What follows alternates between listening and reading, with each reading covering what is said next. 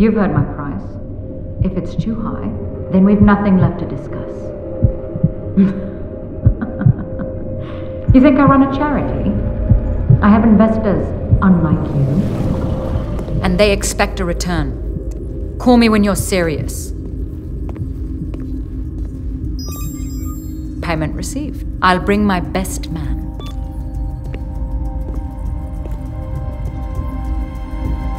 Wamai, prep for phase two.